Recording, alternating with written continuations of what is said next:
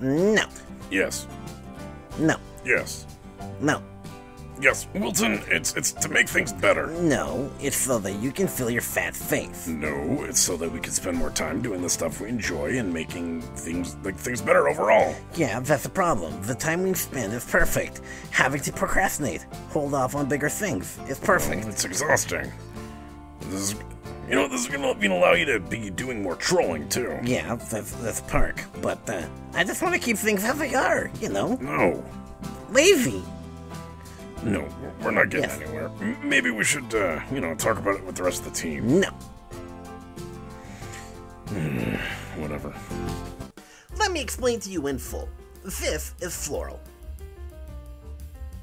Floral wants to get monetized on YouTube, which is all wonderful and everyone agrees. We, agree.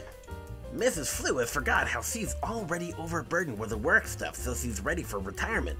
Punkwaddle? Well, he's just pondering about how great monetization would be, but not thinking about the effort that needs to go in. And Floral? Well, he's already a busy father with a wife and kids and two jobs. And then there's me, where I'm like, guys, don't you see? Don't you realize it would be better if we're not monetized? No!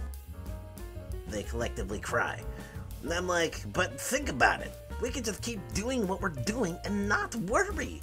And they're all like, but the monies! And I'm like, yes, but we have money. And Floral's like, no, I got money. And you got nothing but good looks, charm, and swagger. And I say, see, you admit it then. We can just relax and embrace mediocrity. And you're all like, that logic is flawless! We're, end.